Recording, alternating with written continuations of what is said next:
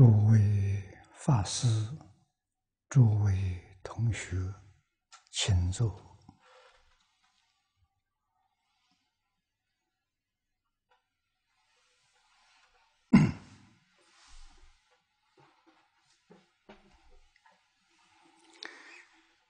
请看《大乘无量寿经解》第六百九十七面，六百九十七面。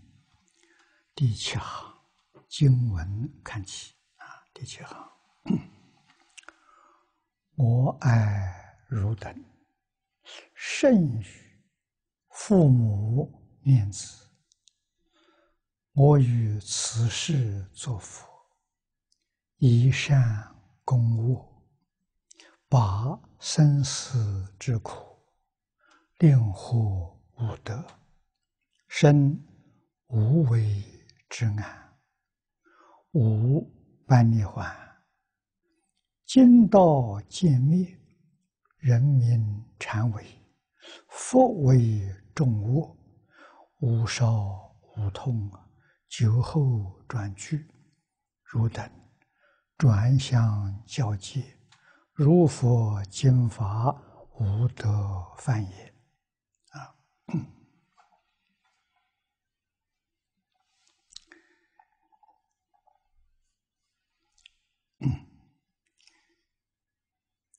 我们看念老的注解，又就是前面念的。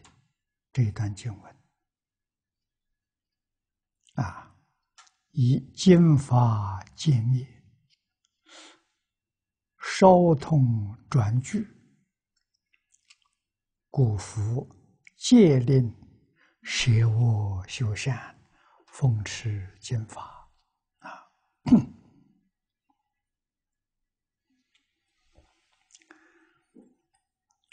佛灭后。这些状况，啊，其实佛都知道啊，没有一样不知道的。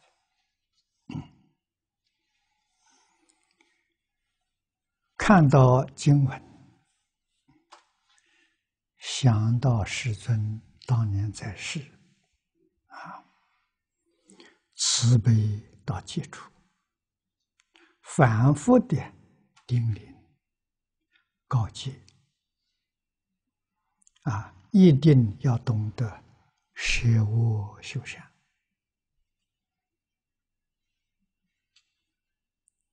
佛是这么样教人。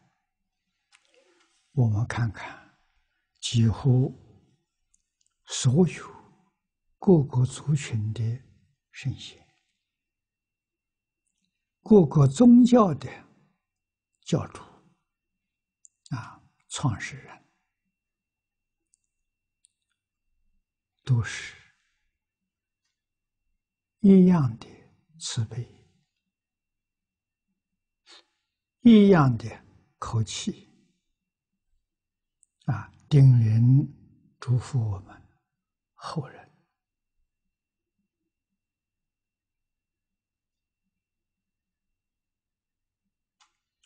那么，在过去两百年前的中国人，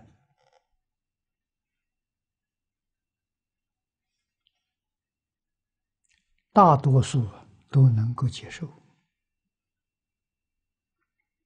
也能够依教奉行，所以社会。还算是安定、和谐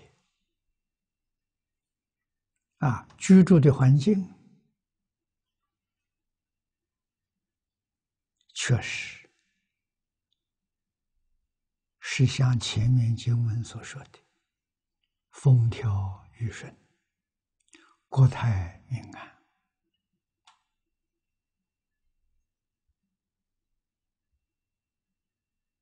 啊！可是往后的人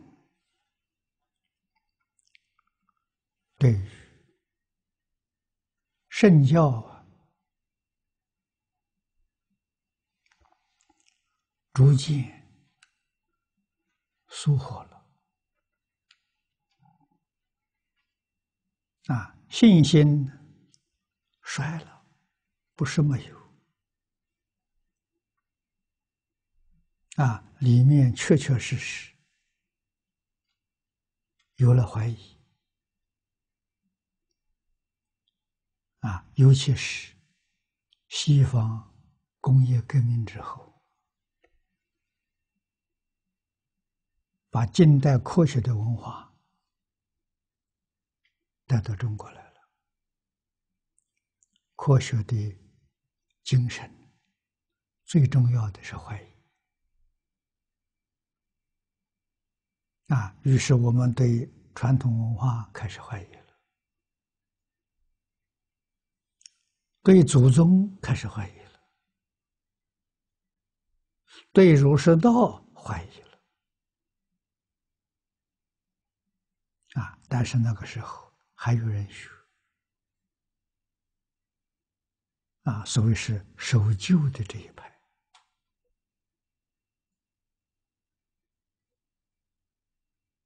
啊，但是再往下传呢，守旧这一派啊，传人少了。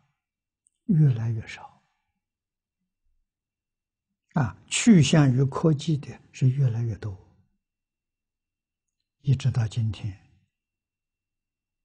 啊，守旧的人几乎没有了，有也无能为力了，啊，就像佛在此地所说的。啊，人今道皆灭，人命禅为，佛为中我。啊，无痛无烧无痛啊，酒后转句啊，这就说现在呀。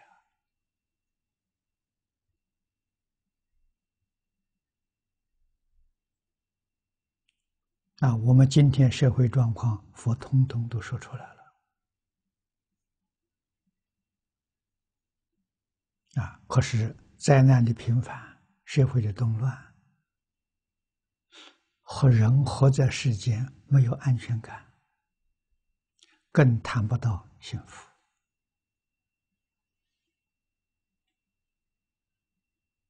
啊，所以从每一天我们看到自杀。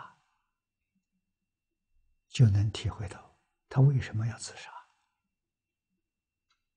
啊，奇怪的是，自杀的年龄啊，到小学生呢，十几岁未成年人呢，他为什么要自杀？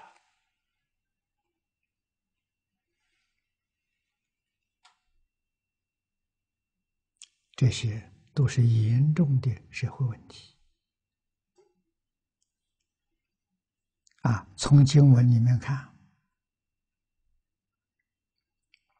佛在这里教我们转向交界。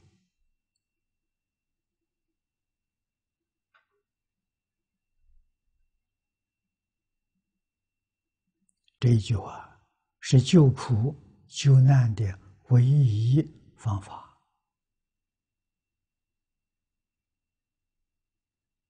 啊，圣贤东西都要教啊！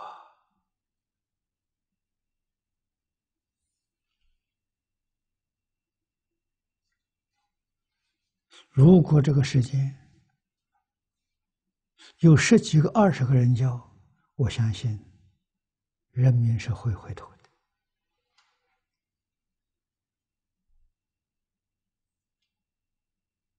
的。啊，现在可以用这些工具。卫星电视、网际网络啊，现在的印刷书进步，成本将大幅度的降低啊，书籍可以大量的印刷流通啊，但是一定要有人去做，一定要有人去教，这问题才能解决。啊，教的人心要像佛心。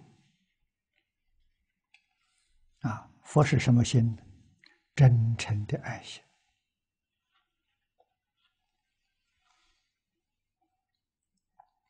我们看念老的注解：“甚于父母念子。”回溯曰：“父母献一世，啊，父母对子女的情爱呀，是一时的，一世过去就没有了。”再也找不到了啊！但是佛于无量劫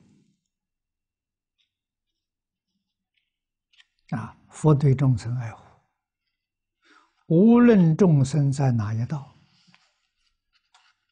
佛没有不照顾的。佛照顾我们是生生世世，只要我们能接受。我们不排斥啊，这个缘决定会遇到啊，佛菩萨为我们安排呀。父母不平等，佛常平等啊，佛对于一切众生平等爱护。因为佛没有分别，没有执着啊。父母有分别，有执着。父母勿不孝，佛悯我你，你这不一样啊。子女不孝，为什么不孝啊？抱怨来的，讨债来的，那肯定不孝啊。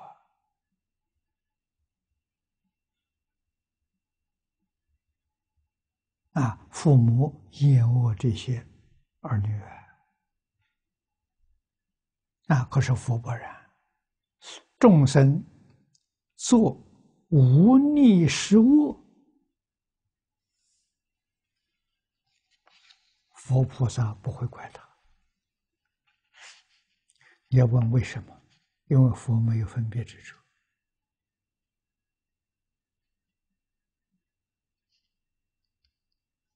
啊，佛知道这些造恶的人是什么原因，他晓得。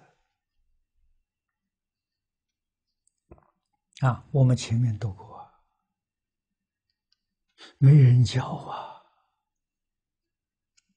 啊，佛真是非常怜悯这些造恶的众生。啊，说出他们先人无知，不设道德。无有愚者，就没人讲啊！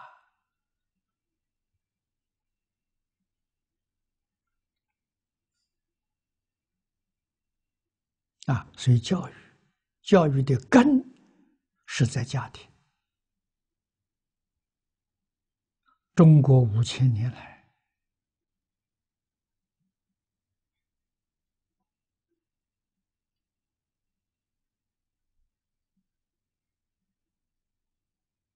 社会可以说长治久安，动乱的时间都不长。啊，春秋战国是因为没有统一，那个时候是诸侯国，秦始皇统一之后。十五年亡国，为什么会亡国？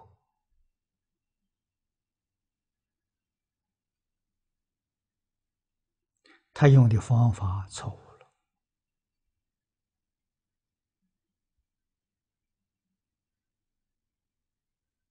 啊，用法律，用武力武力可以夺取政权，不能治国。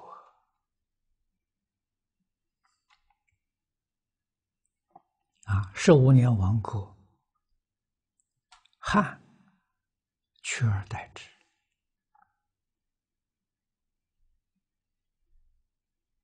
啊，汉武帝就聪明了，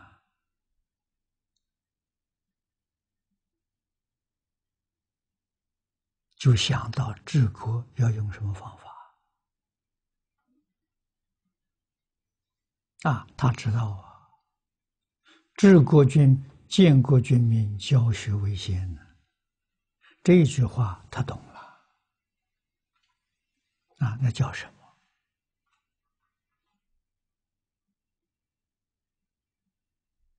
那个时候，诸子百家啊，学说多，而且杂啊，每一家都很有道理，都很有见地啊。用哪一家来作为国民教育？啊，这是当时大家讨论的事情啊！啊，武帝最后接受董仲舒的建议，啊，采取孔孟学说。啊，孔孟在当时跟诸子诸家地位是平等的，没有超越。啊，汉武帝这一个决定，把孔孟的地位提升了，啊，变成诸子百家之首。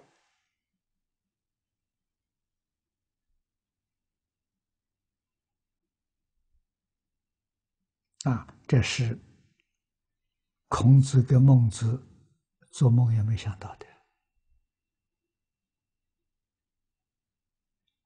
啊，在世的时候不得志，啊，没想到后世采取他们的学说、他们的主张，作为治国最高指导原则。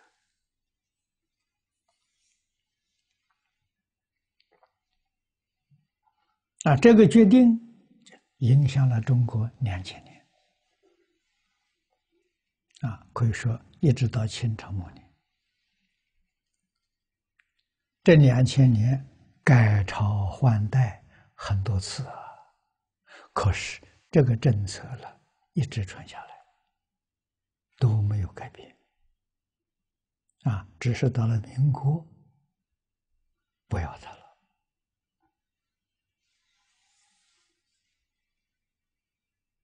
啊，这个收获。带来了这一百多年的灾难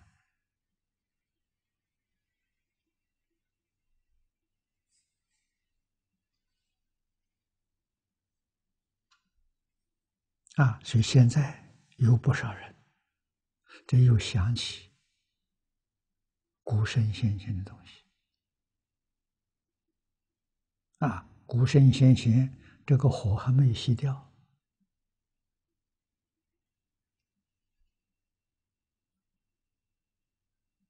啊，在佛门里面，晚进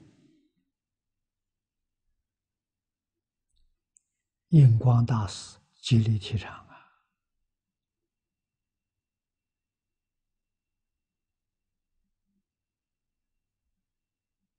啊，这就是说，佛门有一些守旧的，把这个星火传下来了。啊，李老师非常守旧，啊，一生全心全力在这上下功夫。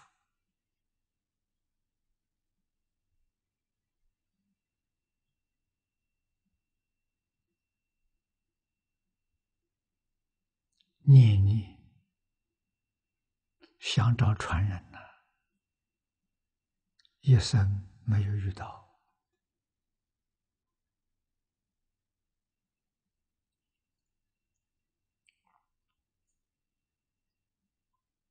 啊，我们这几个人跟老师比，相差太远了。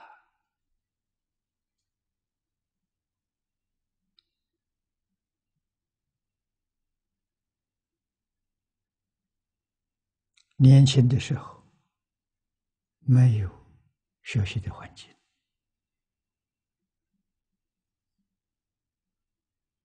所以学习的时间不长。自己要顾到生活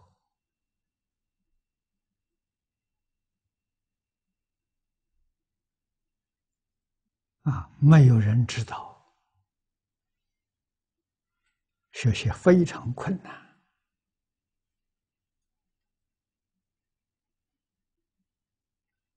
啊，所以佛法里面常讲“心安而后道隆”。在这一段期间当中，心安不下来啊，这是战乱的最后，国家没统一。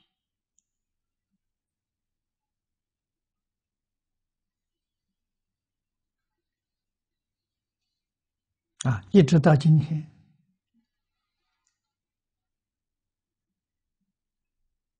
几个人能够把心安下来，好好的去做学问？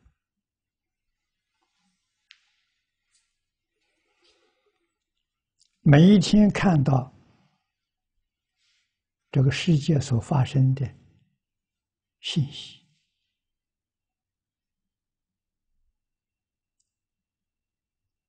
都会叫人忧心忡忡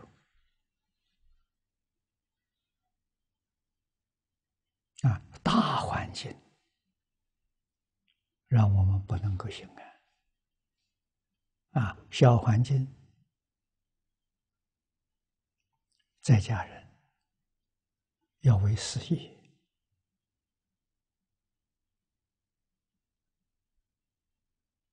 要照顾家庭生活。劳碌奔波，出家人没有道场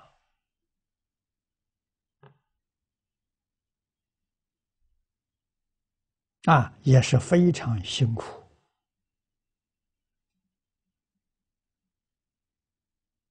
想到过去啊，古时候他们修行住在一个山上，几十年不下山。我们多羡慕啊！他们有福报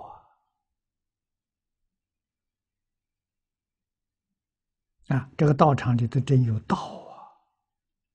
道场里头培养人才呀！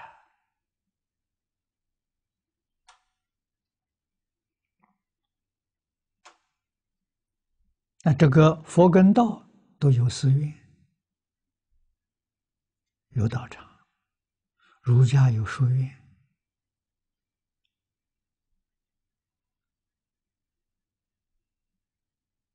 啊，都是培养人才的地方。民国没有了，民国一直在动乱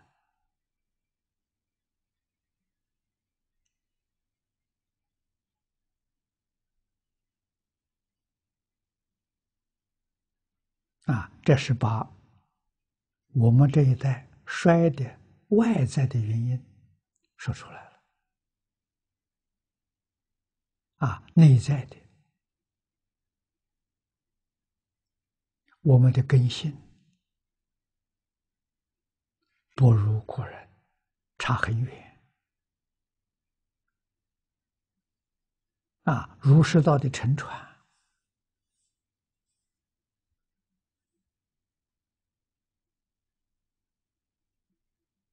都比不上上一代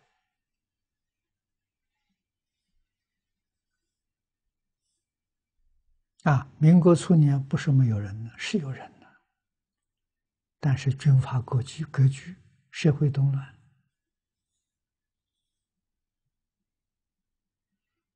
啊！欧阳靖无办支那内学院，也只办了两三年啊。战乱了，你不没不得不停办了。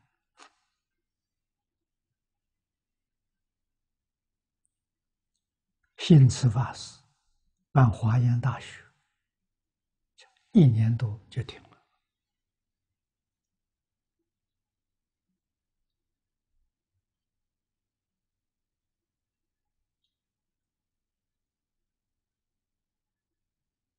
啊，太虚大师的闽南佛学院在厦门，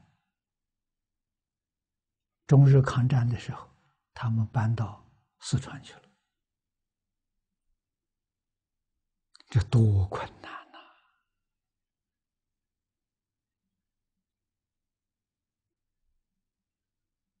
啊，师资不如过去，学生也不如过去。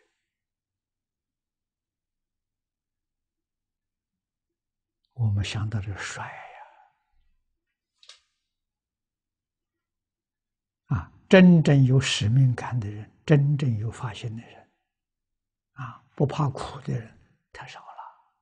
佛提出两个条件，这就是承传佛法的人：第一个以戒为师，第二个以苦为师。啊，不能吃戒，不能吃苦，这个重担你担不担不起来。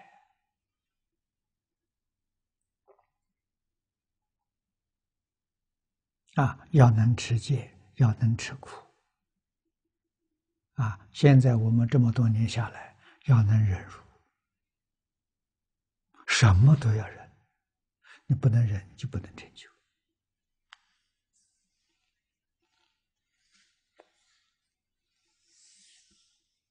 啊，你真正学好，现在人不赞叹你，还得回报你。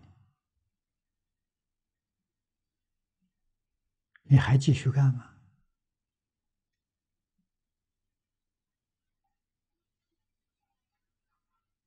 啊，真正做个几十年，成绩做出来了，人家才会哎觉得你还不错。啊，肯不肯帮助你了？难，不容易。啊，所以这是一份非常艰苦的。古文化事业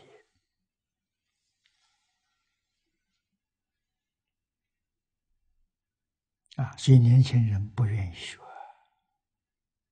太苦啊，太难了，没人帮助你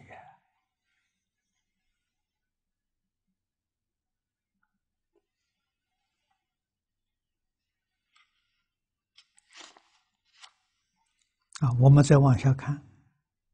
父母养色身，佛于内心呐。佛养我们的法身慧命呢，故曰甚于啊！这就是佛对我们的恩德，超过父啊！你一定认识，你不认识。就不知恩，不知恩，报恩的念头生不起来。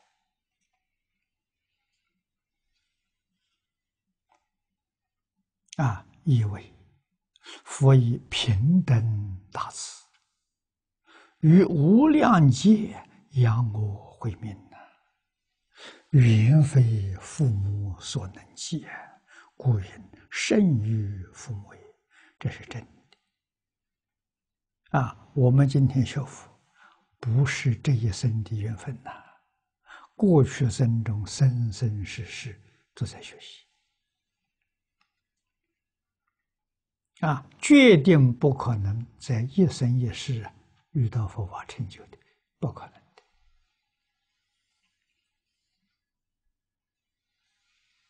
啊，所以每一个同学都不是偶然的。啊，过去生中总有很多事学佛，你遇到这个法门，你才会相信，你才会接受。啊，你肯修，动个念头想发心求生极乐世界，这不是小事情，这不是偶然的事情。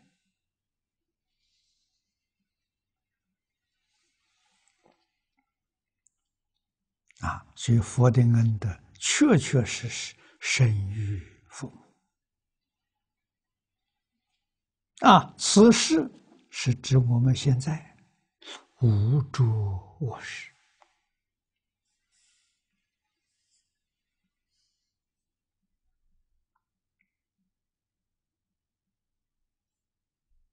啊，我们当前这个世界，活在这个世间是非常辛苦啊。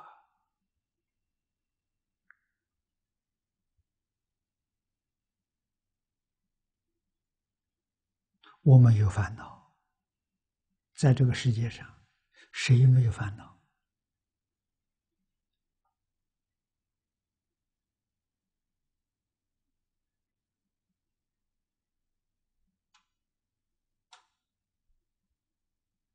啊，佛都看清楚了，都把现实环境呢跟我们说出来了。生在这个时代不好啊，这借助啊，战乱的时间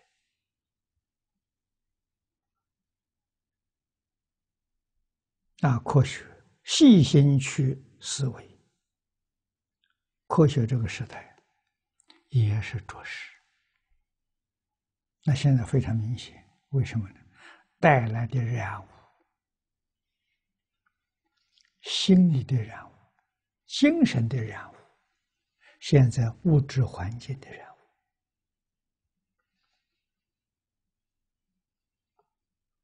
啊，诸。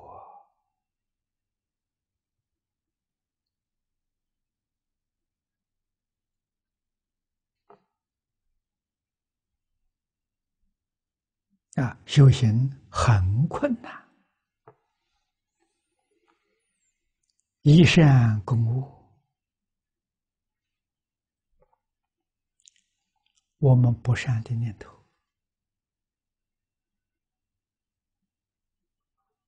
不善的见解，不善的言行。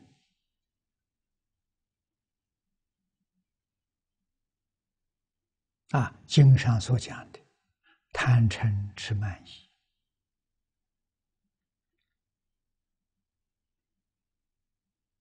传统文化所讲的怨恨恼怒烦，啊，道家也是这样说法的，儒也是这个说法，我们统统具足。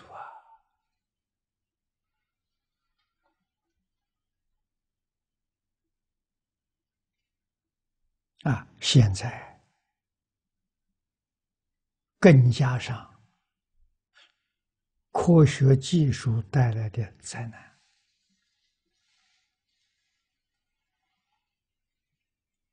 啊，这是佛在经上讲的“淫苦涉毒”啊，这就是说科技文明带给地球的任务。啊，生态平衡失掉了。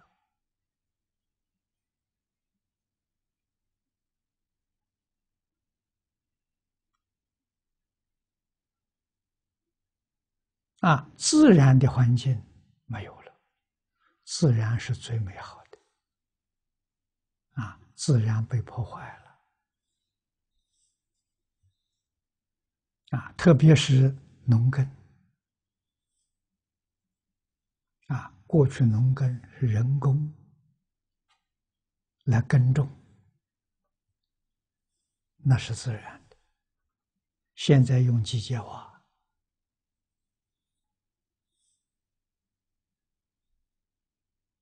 用化肥，用农药，这不是自然。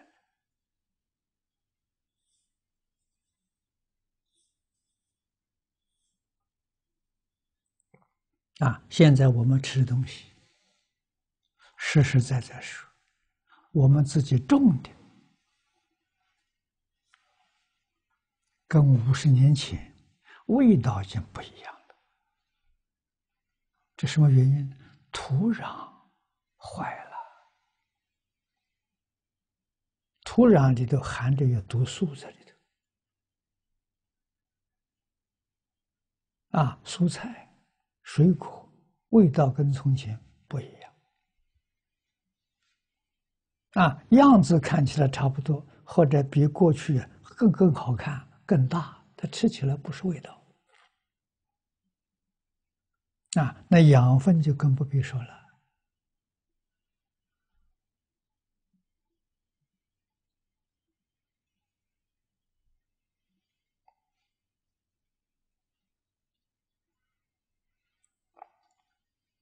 这下面说，佛说善法，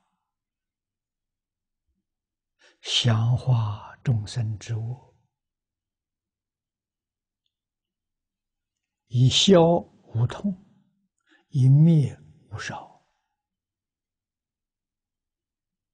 啊，恶指无恶，无恶是杀盗淫妄酒。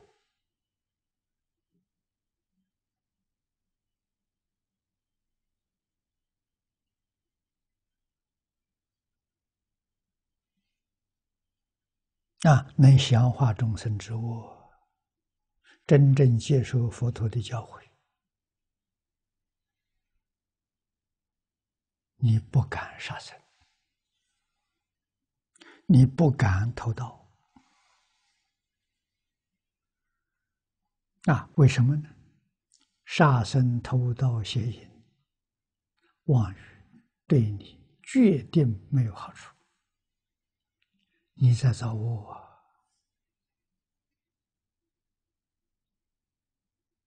你的果报啊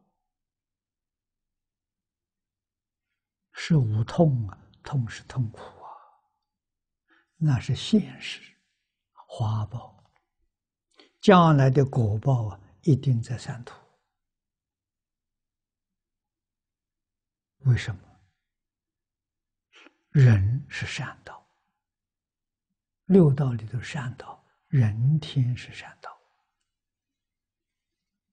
啊，善与善相应，你才能够啊保住人生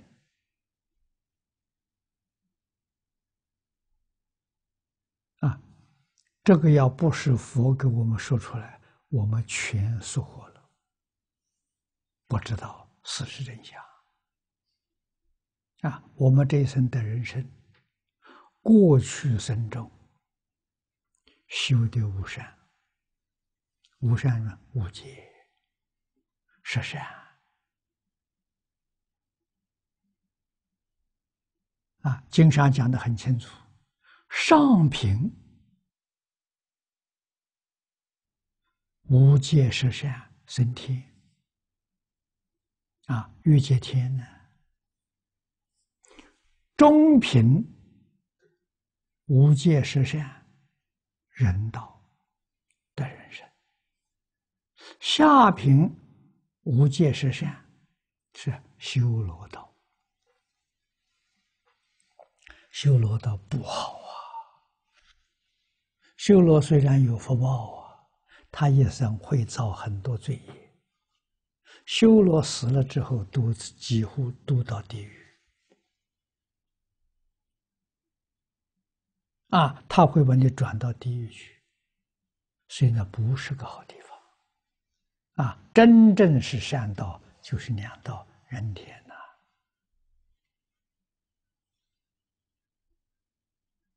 啊，我们认真在这一生当中，守定了，决定不犯无戒，决定遵守十善，来生不是人生。啊，来生再到人间，会比这一生更幸福。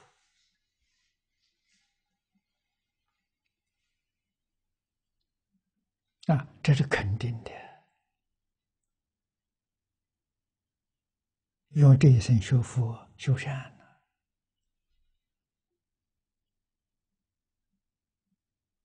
啊，在修学的道路上，慢慢向上提升呢。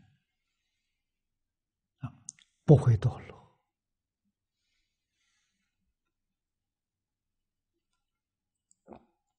所以佛的教诲能帮助我们化解无啊，把里面贪嗔痴慢疑化解。啊，不能完全消灭，贪嗔痴慢疑有。啊，但是不会很过分。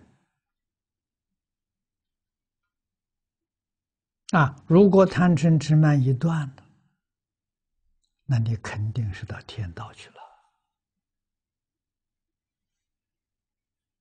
啊，你不会在人道。天人的福报大。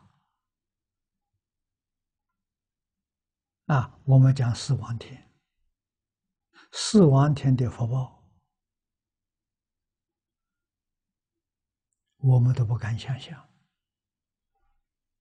佛告诉我们，四王天的一天，是我们人间一百年，啊，人间五十年。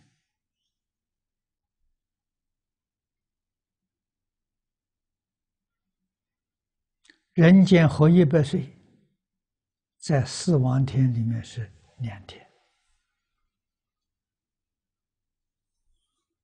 啊，四王天的寿命五百岁，是他那个地方的五百岁。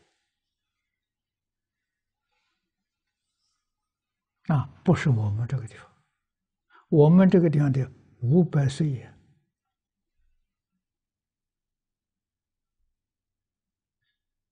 只有他那个地方十天呢。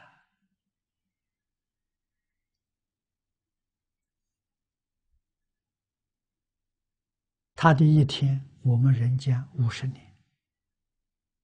他的十天，不是我们人间五百年吗？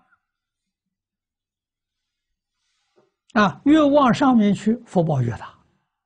桃李天的一天是人间一百年，他们的寿命一千岁。你单单从这里想，你就知道福报多大。啊，所以世间人都希望升天呐。啊，上品的无界十善就升天。啊，最高能升到桃李天。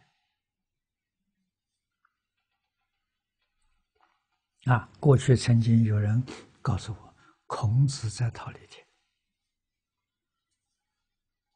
啊，老子比他高。啊，老子可能在四禅天。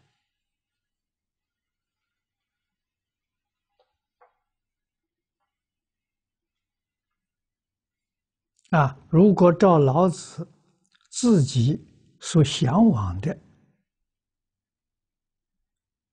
啊，他不想要这个身体，他说：“无有大患，为无有身。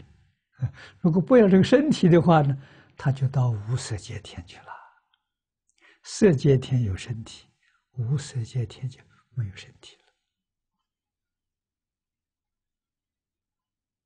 啊。那是要相当的定功，我们相信他有。啊，道家坐禅呐，啊，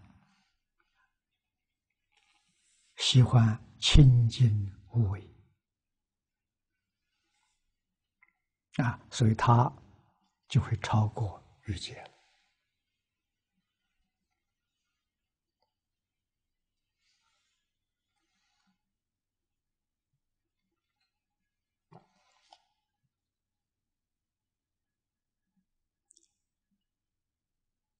能够消无痛啊，灭无烧，这是当然之事。啊，佛确实能帮助我们，这个这些都是小事。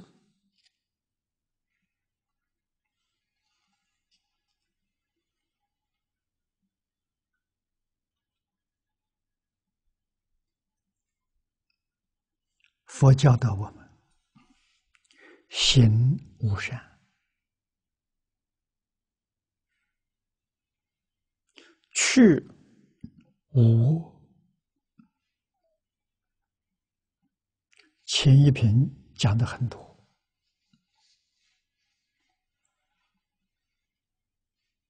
收无决定要断。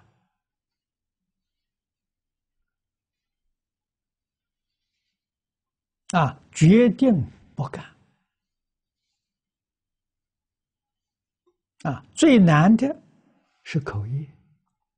妄语啊，很多从事于。商业的这些同修啊，我遇到很多了。这做生意不妄语不行啊，不妄语不赚钱呐。啊，这个没有办法戒掉的，我我怎么办？其实人不知道。你能不能赚钱是命啊！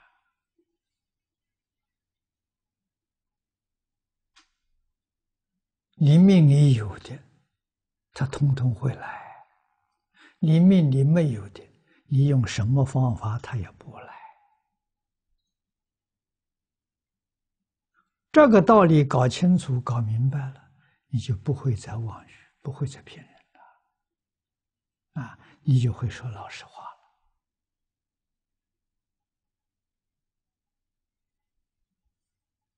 啊，不妄语，不两舌，不握口，不绮语，对你有一定的好处。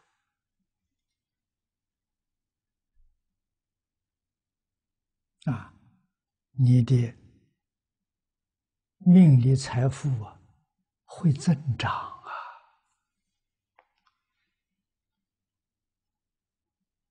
不会损失掉啊。你为什么不干呢？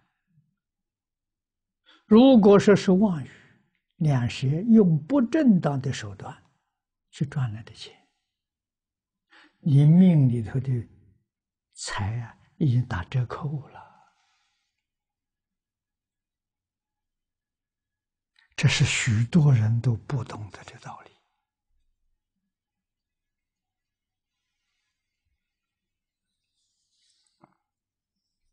啊，我最近看的这个日本稻盛和夫那篇光碟，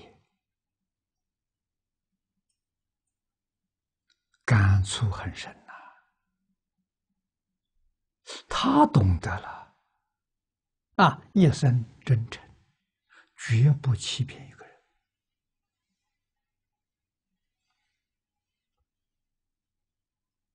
啊，而且怎么样？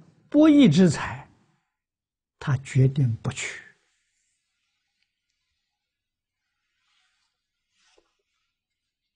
啊，像社会上所谓投机的这个买卖，他不做。他说：“这什么不劳而获？”啊，他一定是我自己付出的辛苦，我赚来的心安理得了。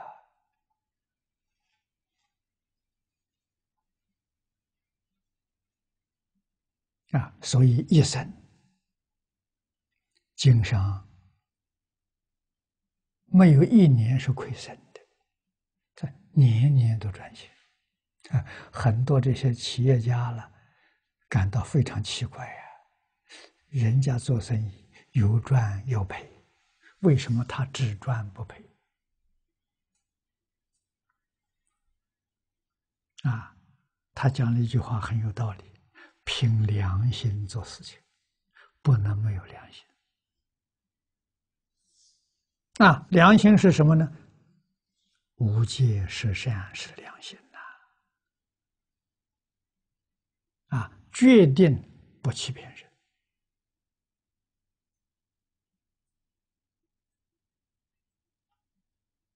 啊，他们公司出产出产的东西，货真价实。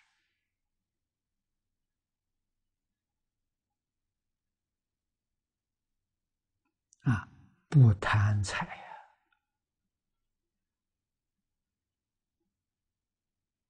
呀！啊，成本低一点，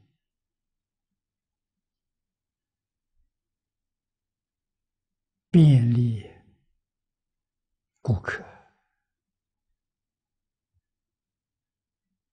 啊，好的产品大家都能够用到，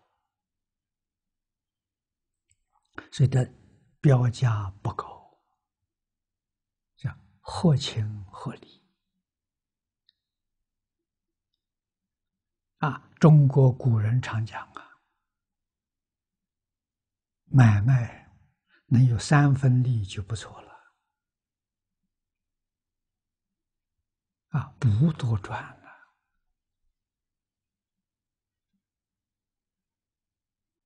啊，一生平平安安，真的过到幸福圆满的生活。啊把员工的福利摆在第一位啊，所以他的员工都是在他公司做一辈子的啊，甚至他的儿子还加入了公司，他不会离开呀。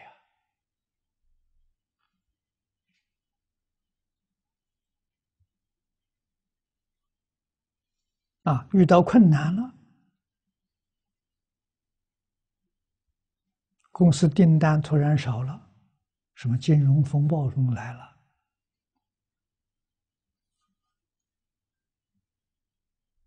啊，他们的公司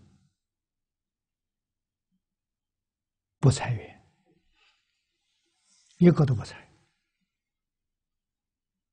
连做零工的都不裁。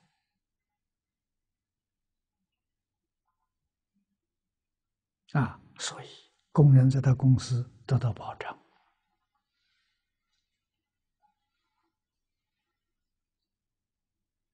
啊，订单少，这工作就少了。他们转一个方法去做研究工作，去上课，做研究工作，啊，改善他们的产品，提升他们的产品。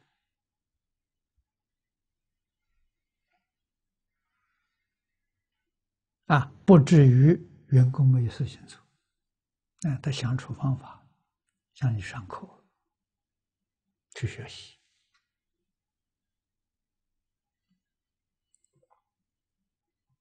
啊，所以经营永远不败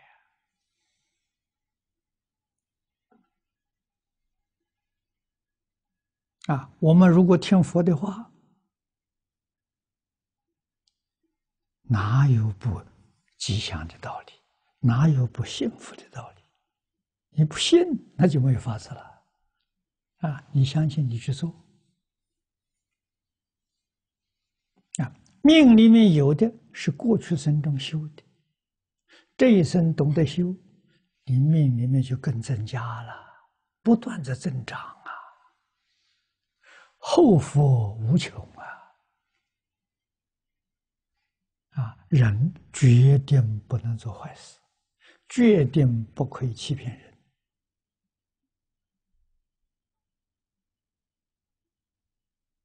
啊，这个道理不能不知道啊，这是真理。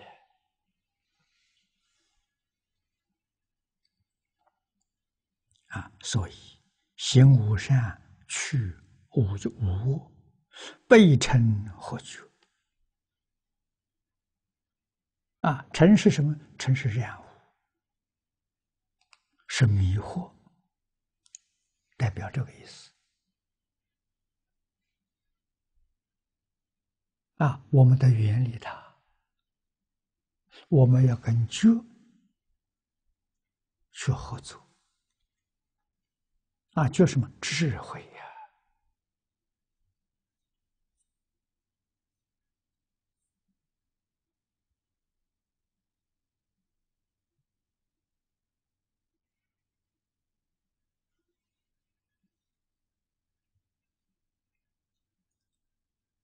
这样一来呢，就把你大幅度提升了。你看，发出有情生死苦本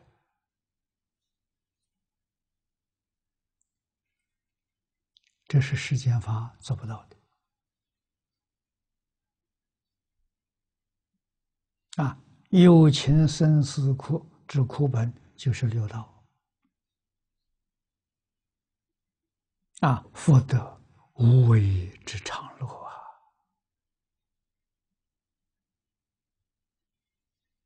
啊，这只有佛法，特别是大乘，能带给我们，能帮助我们。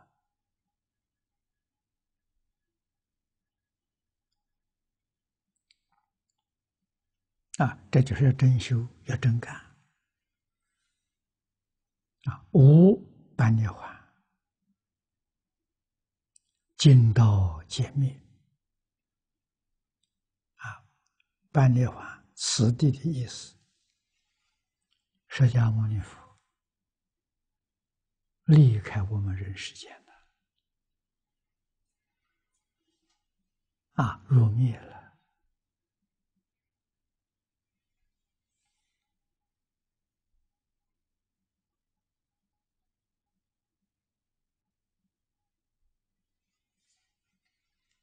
啊，缘起了。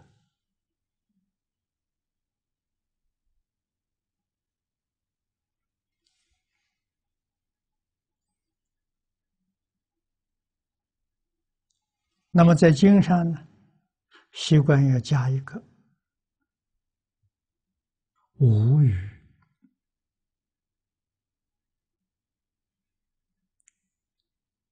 涅槃。这就是入灭了。如果是有余一涅槃，他人在世间，他真的大涅槃成佛了。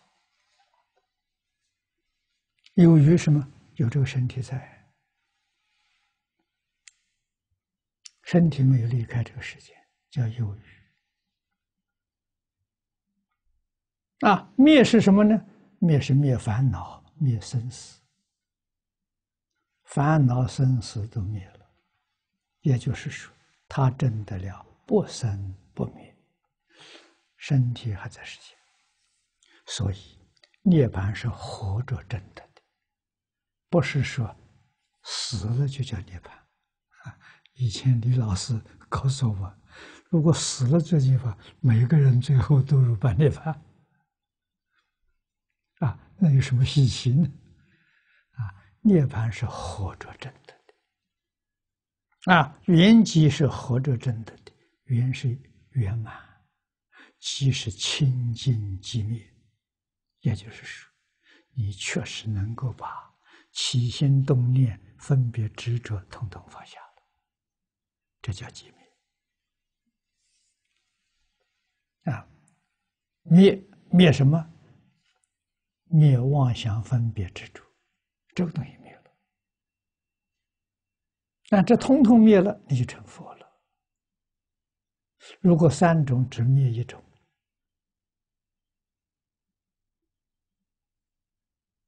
啊，不执着了。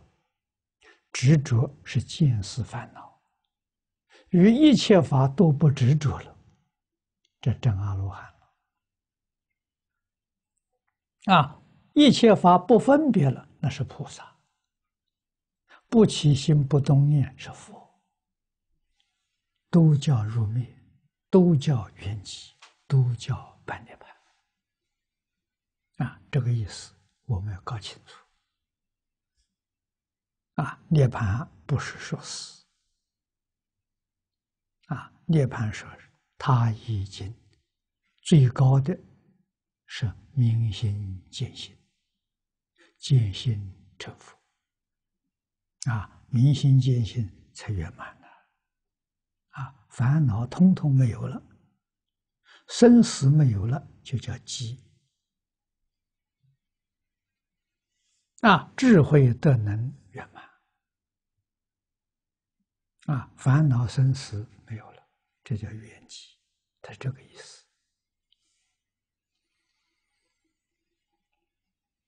啊，那么此地佛说他半涅槃，这是说他无余涅槃。啊，他身体不要了，离开这个世界。为什么？佛到这个世间来，他不是业报啊，我们没办法，我们是业报啊，不来也得来。你造的这个业，你得受这个报啊。这个报完了，不走也得走啊。啊，所以这个身叫业报身啊，寿命是有一定的啊，但是。长短自己可以操纵啊！佛法讲续命，但是不是定论啊！你要是断恶修善、积功累德，寿命会延长啊！我们看《了凡四训》，了凡先生。遇到那个算命的孔先生，那是非常高明啊！他确实把他的流年呢算的一点都不差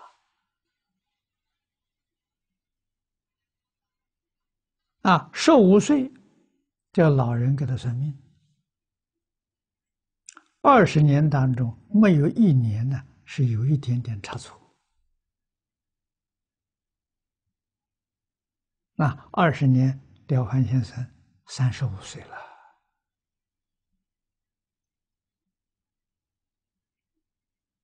啊，三十五岁这一年遇到云谷禅师，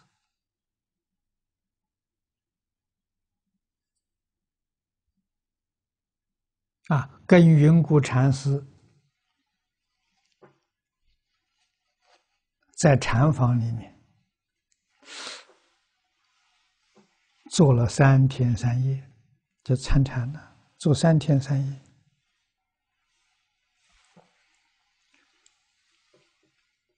廖凡先生没有起一个妄念。啊，云谷禅师很佩服他了，问他：“你修的是什么法门？功夫不错，三天三夜。”没有一个妄想，一般普通人做不到。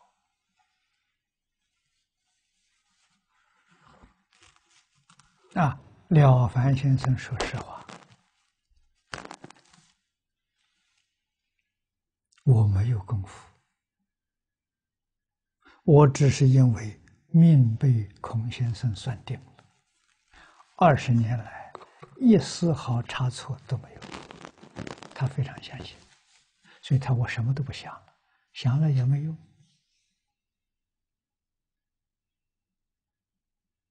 啊，命被人算定了，每一个人都是有一定的命运。啊，但是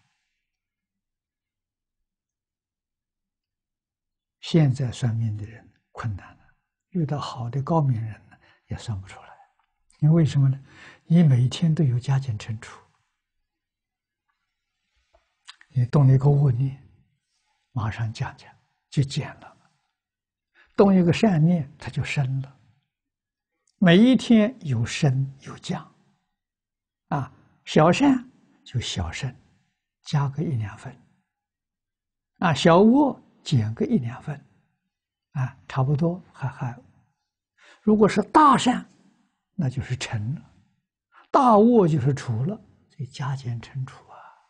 现在人那个念头起伏太大了，啊，大概善的比较少，恶的都特别多，所以现在人福报是很大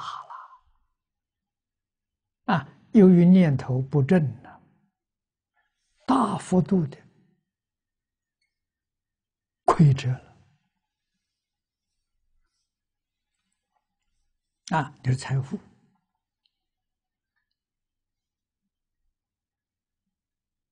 啊，命里面可能有百亿的财富啊，但是他不用正当手段啊，还是用欺骗别人、不正当手段去经营他亏了。啊，他这一生赚到六十个亿，赚到八十个亿，觉得很不错了。其实，六十个亿，亏了四十个亿；八十个亿也，亏了二十个亿，这一点都不错。啊，你问了凡先生，他知道。啊，所以云谷禅师教他改造命运。啊，断一切恶，修一切善，每一天反省检点自己过失，改过自新。啊，他照做，立刻就改变。人你只要心一念，感应就现前。第二年参加考试，孔先生算他是第三名，他考取第一名。啊，头一次不准确了，啊，以后完全改了。命里头没有功名，就是说没有举人的命，没有进士的命，啊，他全都考取了。考中了，这命里没有的，命里没有儿子，啊，命只有五十三岁，他活到七十，七十四岁，啊，多活了二十一年，啊，他自己说，他没有求长寿，啊，求功名他是发心求的，啊，求考取。举人考取进士，这个他有求。啊，求儿子他有求，没有求长寿。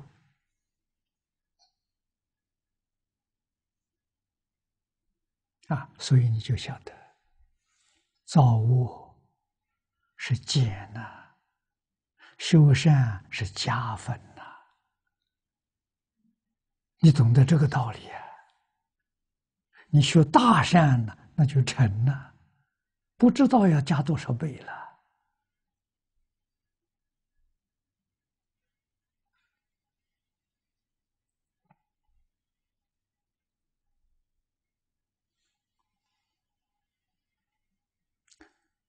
释迦牟尼佛的法运，正法五百年。相法一千年，末法一万年。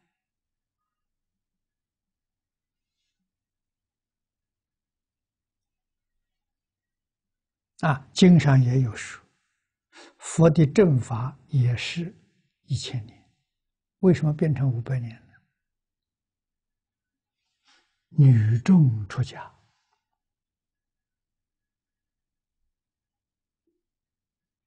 啊，正法就减少了五百年，是这个原因。那，这说明女众情之重啊，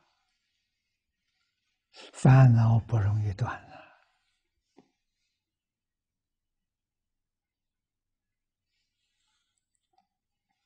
了。啊，一切皆过。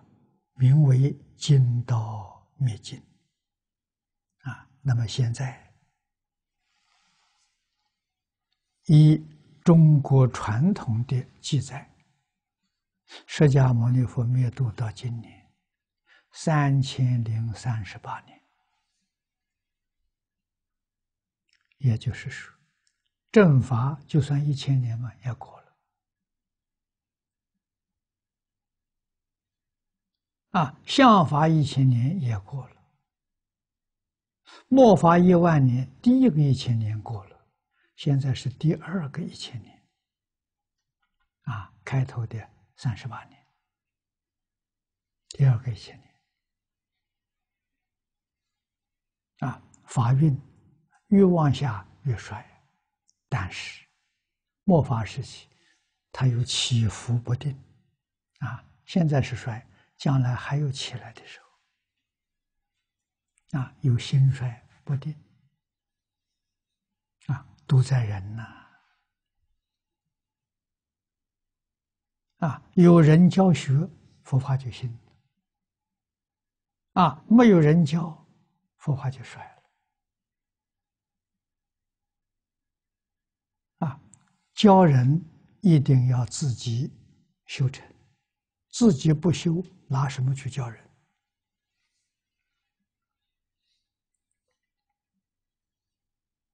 啊，所以真正何当如来家业？如来的家业就是弘法利生，就是教学。啊，释迦牟尼佛的身份，我们可以非常清楚的看出来，职业老师，他是个教师啊，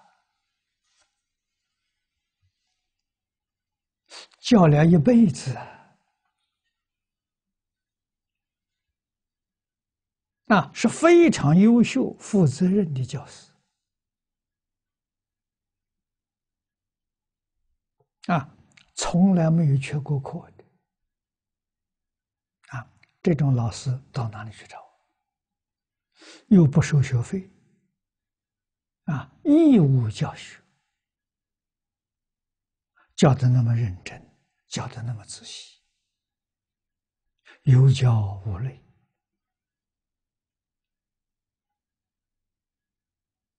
啊，现在用现在的话说，他从事的是多元社会教育。啊，他的学生不分国籍，不分种族，不分宗教信仰。啊，经典里面我们看到。皈依释迦牟尼佛，做佛的弟子有很多不同宗教的传教士啊，宗教的信徒。地藏经上诸位看到婆罗门女，那就是婆罗门教的啊。佛不会改变他宗教信仰，因为。佛教不是宗教，没有改变的必要。啊，佛教是教育，啊，就像学校一样，学校招生，信仰任何宗教都可以来学习。啊，所以我们在经典里面看到很多普通宗教的，啊，传教士跟信徒，啊，都来。跟佛学习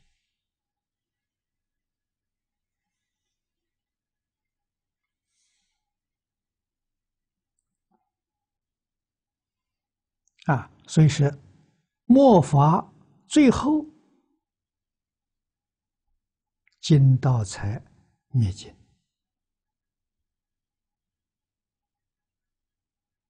啊，这个地方有法灭尽经。啊，《大藏经》里头有这部经，释迦牟尼佛说：“将来佛法灭尽。”这里面提到“首楞严经先灭”，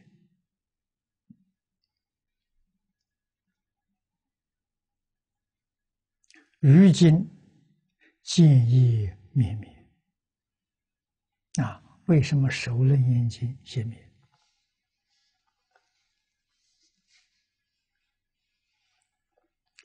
我跟李明南老师主修的就是《受楞严经》。我到香港第一次到香港来讲经，是讲《受楞严经》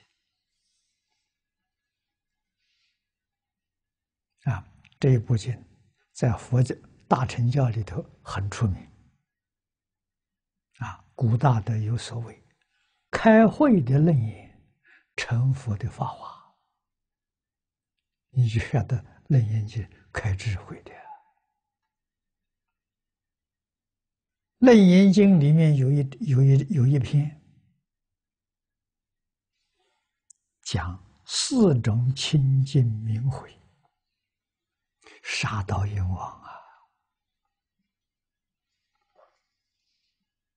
啊，讲这四种果报讲的非常清楚啊。那一章啊，我讲经的时候称它做照妖镜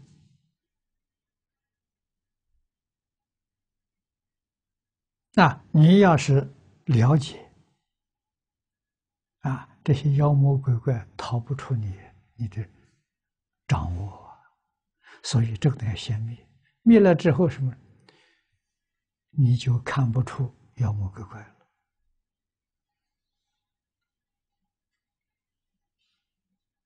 啊，你会把妖魔鬼怪当好人，把妖魔鬼怪当做佛菩萨，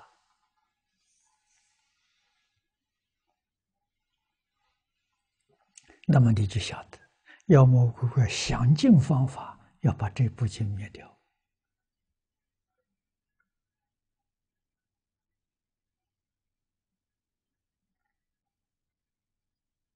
啊！那个经很有味道啊，真的开智慧啊！佛跟大众来讨论。就像开会讨论一样，完全是智慧的对话，里面有很多与现代的哲学科学有关系。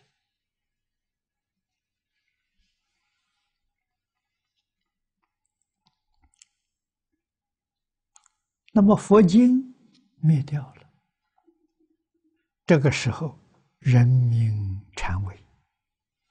禅是禅虚，为是虚伪，人心淫邪狡诈，佛为中恶，又不做好事了。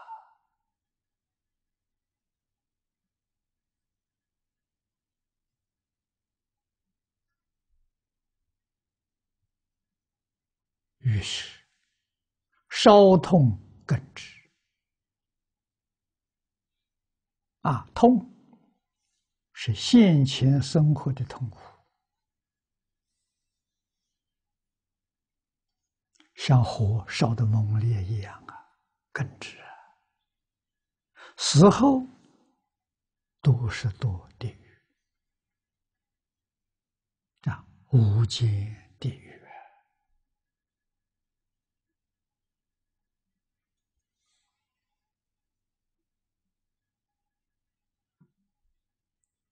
故云：“酒后转句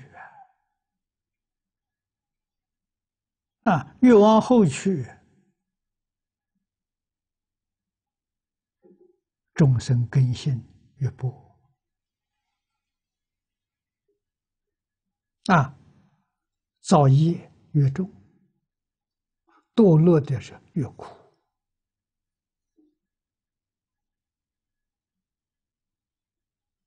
啊，念老在此的时候，从正法、相法转到末法，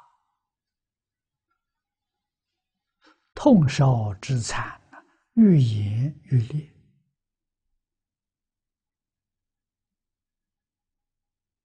啊，故会弥勒及一切会众，因转向交接。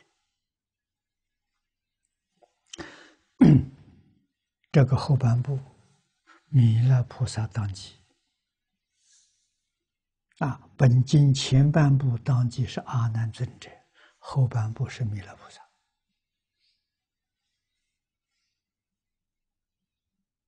啊，弥勒菩萨是当来下生佛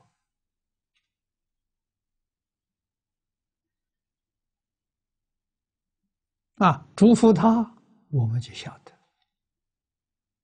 弥勒菩萨将来示现成佛，教化众生，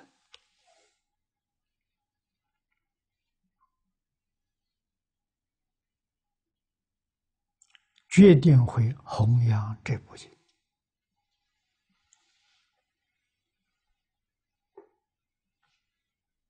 啊！而这部经，我们逐渐逐渐的已经体会到了，末法九千年众生难度，只有靠这部经啊！为什么？断烦恼真难呐！这个法门主张待业往生，烦恼可以不要断，控制住就行了。啊，烦恼控制住容易啊，断不容易啊。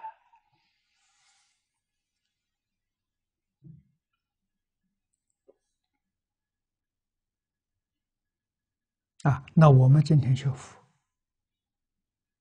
烦恼不能断，烦恼一定要降温，要淡化。我们求生净土就有把握，就容易。啊，临终的时候烦恼可以不起来，这句佛号要把它念好。啊，无论在什么状况，一切时，一切处。不管外面境界怎么样，这句佛号能够很容易提起来，不会忘掉。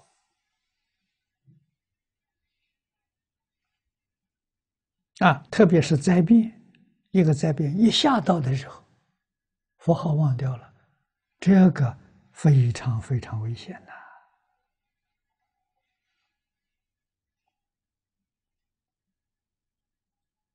啊，无论什么样惊险的事情，都是一句阿弥陀佛。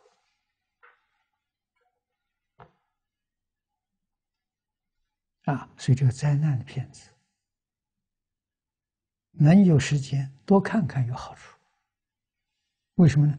多看看呢，就习惯了。灾难来的时候，不就这么回事情吗？我早就看过了，你就能够锻炼什么？灾难的时候，心地很正常。不惊不怖，啊，不会把他吓到，啊，我相信这种骗子的出现是天意，啊，叫我们预先看到啊，你有心理上的准备，啊，不会被他吓到，啊，实在讲大灾难。死那么多人，我相信一半以上，甚至到三分之二、四分之三，都是被吓死的。那个吓死很可怜的，啊念佛的人被吓死了，不能到极乐世界去了，又搞六道轮回了，啊，不知道跑到哪一道去了。啊，这是一个很麻烦的事情。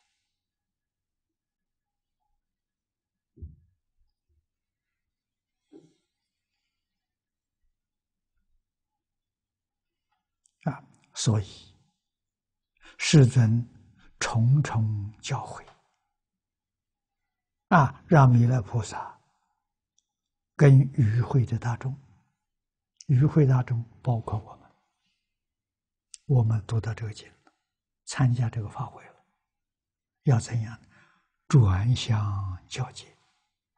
我们学了，要告诉别人。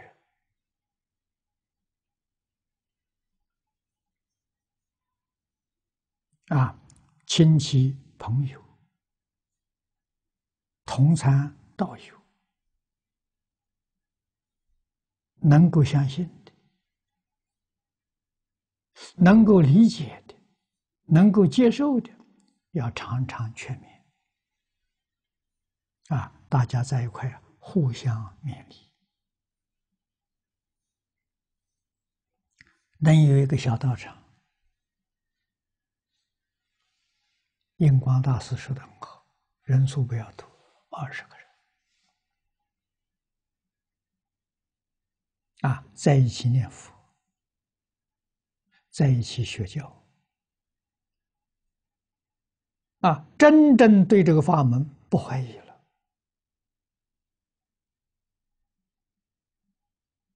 下定决心，我一定要求生净土，经也可以不必听。也可以不必念的，一句弥陀念到底就行了。如果还有怀疑，那你一定要学经教啊，要听讲，要读经。为什么？帮助你断疑生信啊！经教目的在此地啊，真搞清楚、搞明白了，就专心念佛吧。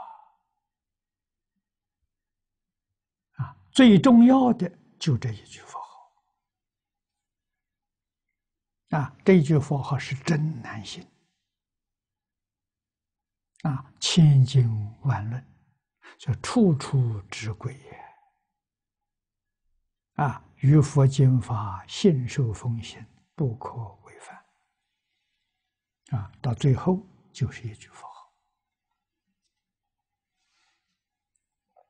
我们看这一篇幕后一段，弥勒菩萨合掌白：“世人。”苦恶苦，如是如是。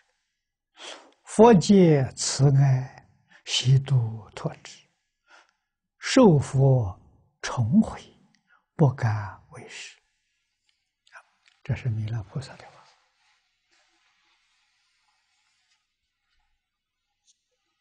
啊，弥勒大师身临佛会。深深的体会到佛陀的教诲啊，故合掌这些，赞叹如来。他说：“世人无苦，我是造因，苦是结果。”啊，造恶当然要受苦，如是甚深呐，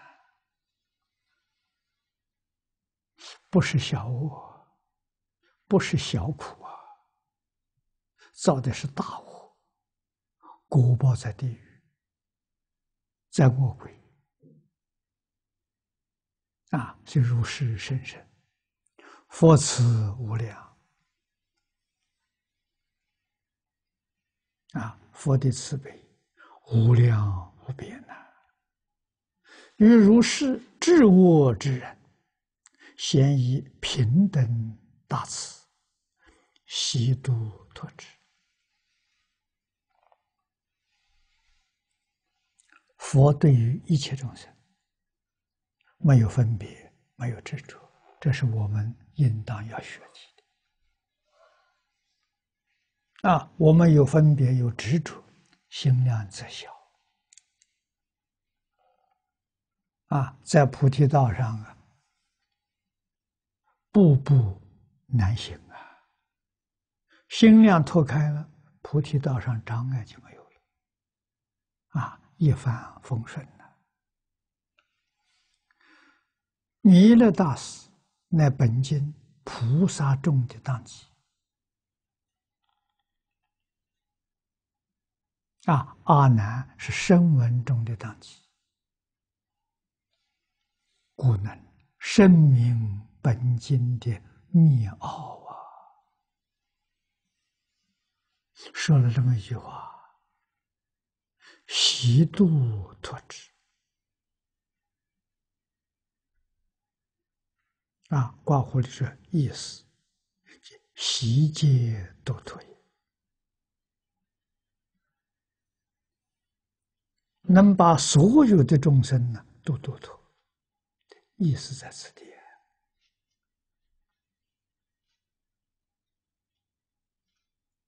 这是这部经的秘密，这部经的奥奥旨啊！啊，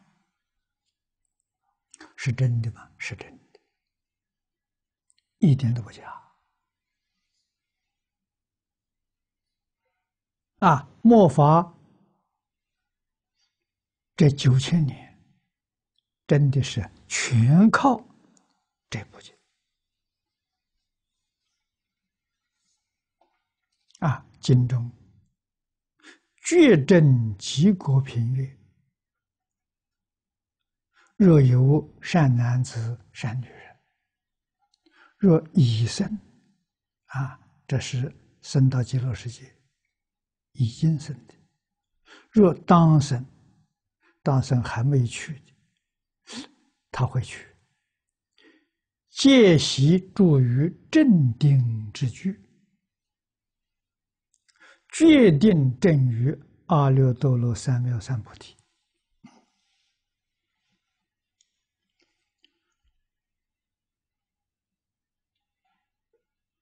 戒习住于镇定这之句，这一句话重要。这心定了，定在哪里呢？定在净土，定在阿弥陀佛。要定在这一句佛号上，你决定成就了。啊，往生到极乐世界，当然证得无上菩提啊，阿耨多罗三藐三菩提，啊，就是无上菩提，成佛了，究竟成佛。啊，《华严经》上讲的妙觉如来，啊，这是表，现在。发菩提心，一向专念之人，将来当生西方，且于当前以住镇定之举。啊，这是什么呢？对经教明白了，不怀疑了，心定了，再不会动摇了。啊，在大乘法里头。无论遇到什么法门，你都不会动摇，叫镇定之举，不会一会想学这个，一会想学那个。啊，如果你还想学很多东西，你不是镇定之举，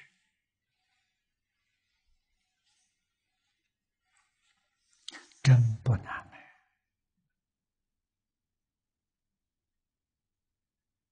我们看到刘素云居士十年成就了，他的成就不是普通的成就，他是真成就啊！为什么呢？什么时候往生都可以，这问题解决了。啊，随时可以走。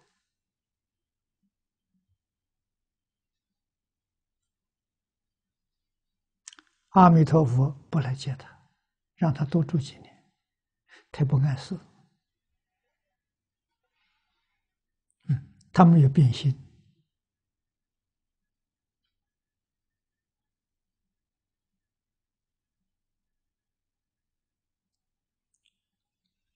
他没有别的想法。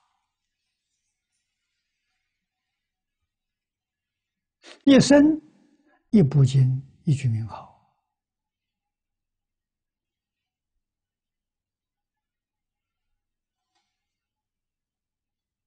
啊！切入境界之后，这部经只念经文，不必念注解啊！每一天把经念一遍啊！念一遍是什么意思呢？观察西方极乐世界。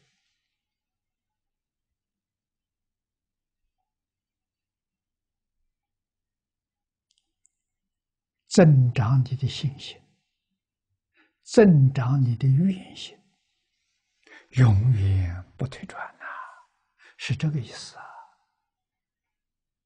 啊，当然，首先是要搞清楚、搞明白。啊，心还不坚定的，一定要听，要听经，要读经，信心坚定了，决心下去了，再不动摇了，就专念阿弥陀佛。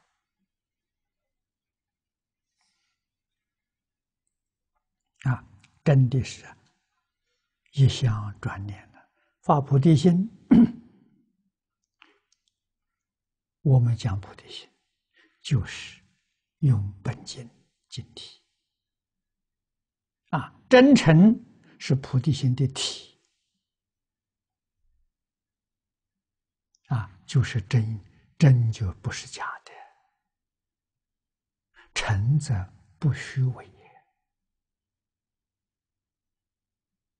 啊，这是菩提心的体，啊，它起作用，清净平等，自受用。慈悲他受用啊！慈悲从哪里来的？慈悲里头有真诚，有清净，有平等，有觉，那样的慈悲心对待一切众生呐！啊，无论他信不信，都是用慈悲心对待。没有分别，没有执着。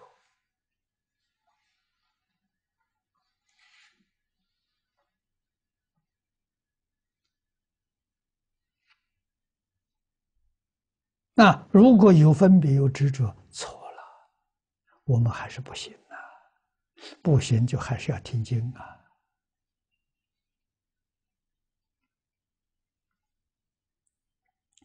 一切众生。平等对待，和睦相处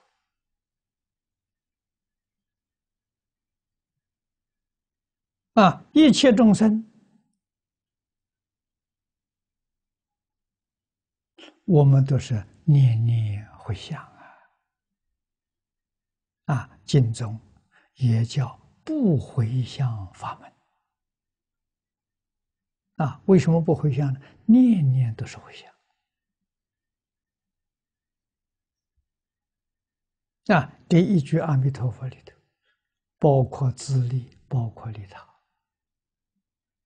啊，自利利他了。啊，自利是求佛来接引我，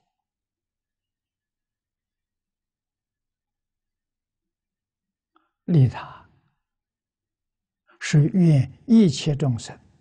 将来都以这一句佛号得度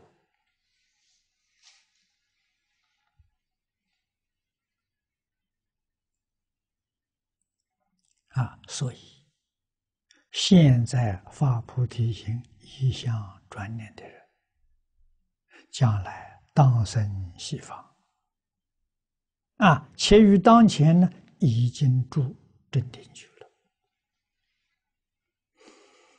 又阿弥陀经曰：“若有人已发愿、今发愿、当发愿，欲生阿弥陀佛国者，是诸人等皆得不退于阿耨多罗三藐三菩提。”这一句经文是表目前发愿往生之人，悉不退转于菩提，故云。悉皆度脱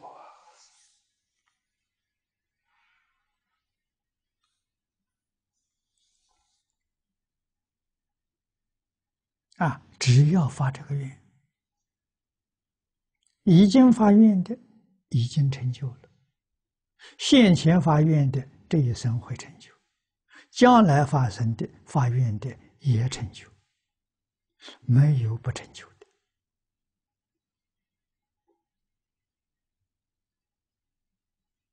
的。啊，下面弥陀要解云，这欧耶大师的，不论智心善心，有心无心，或解不解，但弥陀名号或六方佛名，此经名字一经于耳，假使千万劫后，毕竟因是度脱啊！你看这个意思啊，伟大师，这再来人，而不是普通人啊！《弥陀要解》这本书，他幕后有一篇跋文啊，说明他这个节是九天写完的。写成这部注解啊，要解。印光大师对这部书的赞叹说：“即使古佛再来，给《弥陀经》做一部注解，也不能超过其上。”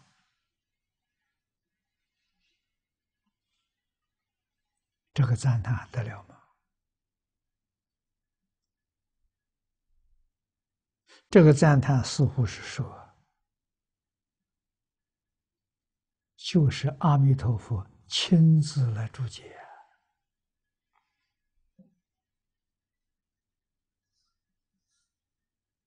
啊！有许多人看到印足这个赞叹，心里头有怀疑，我就遇到。还是大法师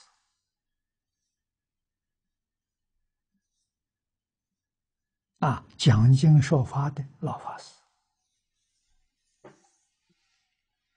问我：“印老说的这句话是不是太过分了一点？”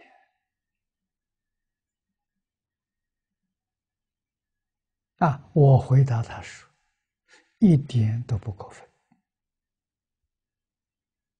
印祖所说的恰到好处，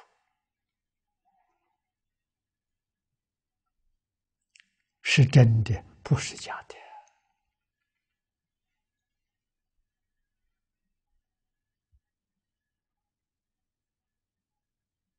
啊，我们要相信啊。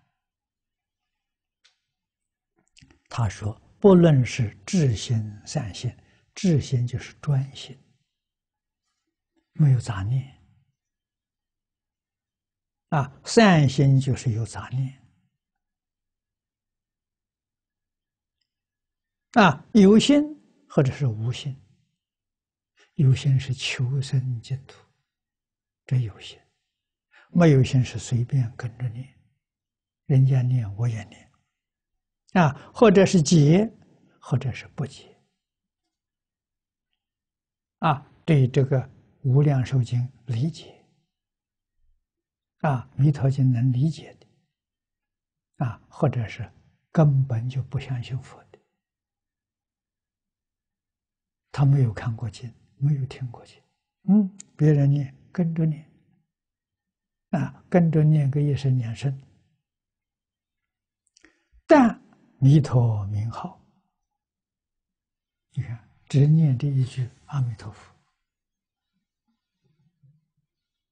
啊，或者是南无阿弥陀佛，啊，就不管有心无心的，啊，或者是六方佛名，啊，念本师释迦牟尼佛，啊，毗卢遮那佛、卢舍那佛，无论是哪，只要是念的佛名字。或者是经名啊，《阿弥陀经》《佛说阿弥陀经》《妙法莲华经》《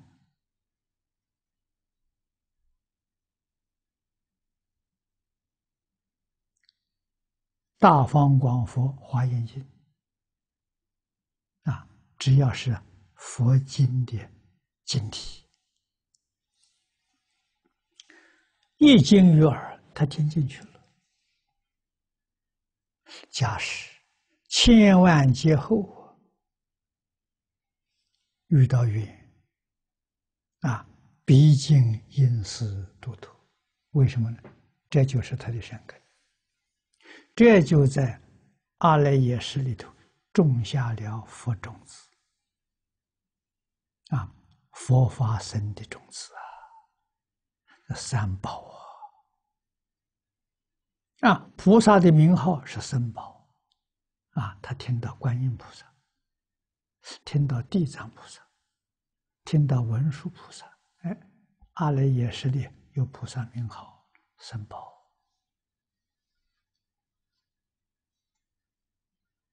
啊，这个种子永远不会消失。你看，千万劫后都不会消失。啊，遇到缘，就是遇到三宝，这个种子会起现行，会起作用。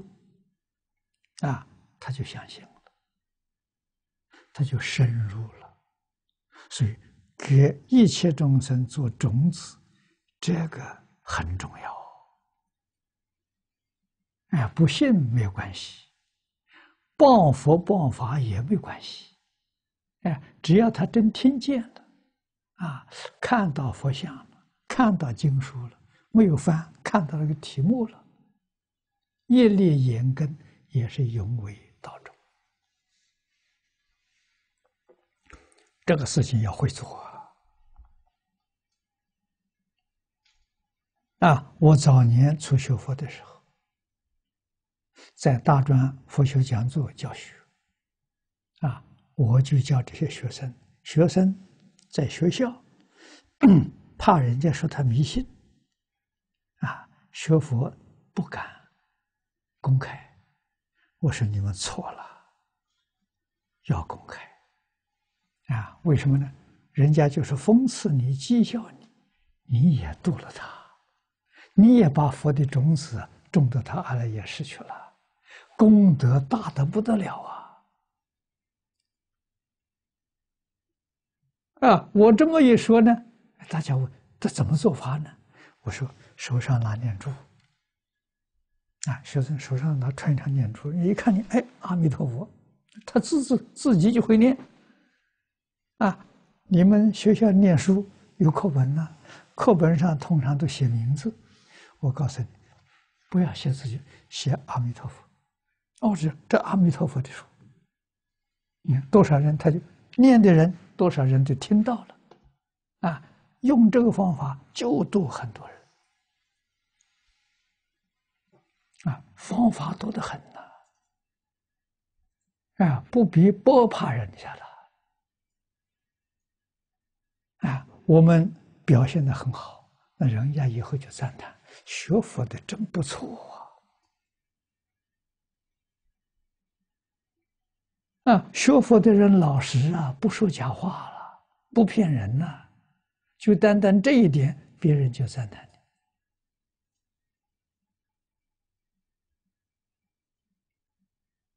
你啊。所以应当要懂得不必回避。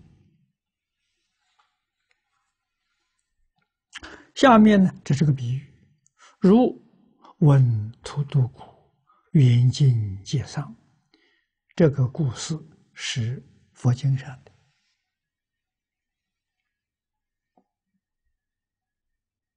啊，这是战争的时候。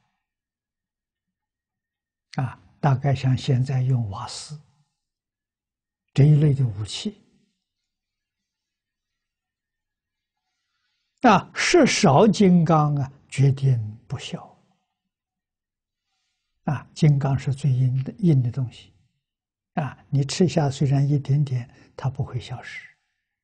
啊，用这个是做比喻，啊，也正是习度托之之之，啊，所以肯定度一切众生。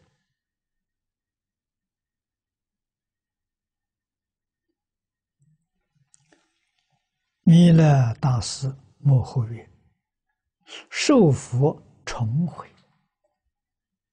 啊！佛慈悲也，一次再一次再一次的教诲啊，不敢为师啊！此乃待现在当来一切寒灵而言者也。啊，弥勒菩萨这句话，也代表了我们现前，代表了末法九千年的大众。啊，将来有缘能够读到这个经本，啊，代表这些大众，啊，故说我等，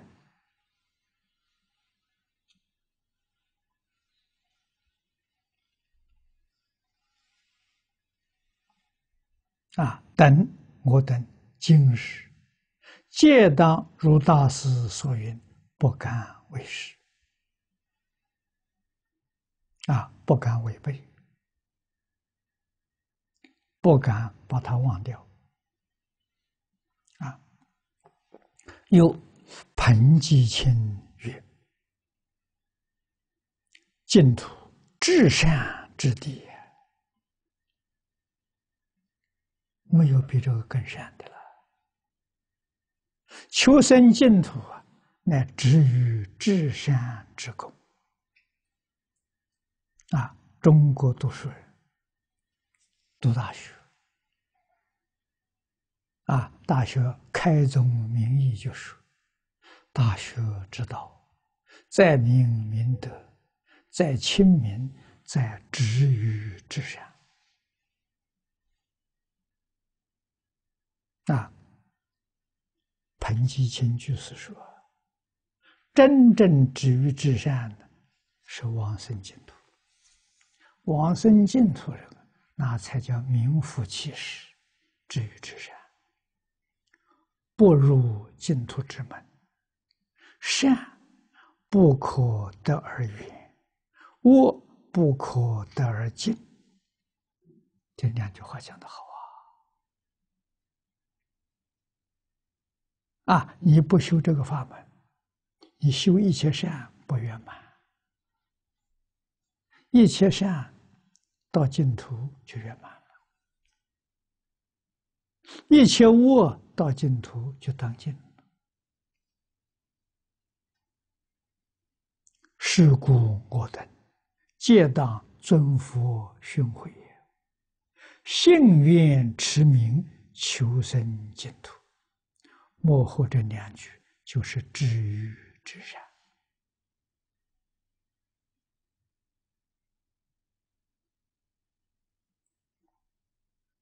啊，这几句话不是一般人能说得出来的。啊，善不可得而远，恶不可得而近。啊，你不入净土法门，那就这样的。啊，这个话再来人说的。啊，彭继勤居士也是了不起的人。清朝乾隆年间，这是一位大德。啊，他的父亲是乾隆皇帝的兵部尚书，啊，现在的官职是国防部长，所以这是高干子弟。啊，人非常聪明，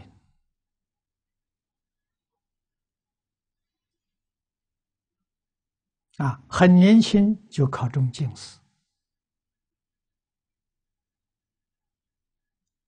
啊，古时候二十岁行冠礼就成人，大概他是十九岁、二十岁的时候考中进士，一生不做官，学佛去了。啊，家里环境好啊，哎，去学佛去了，在佛门了不起，啊，通宗通教，啊，贤密圆融，大德居士啊，这个《无量寿经起心论》就他做的。好，今天我们就学习到此地。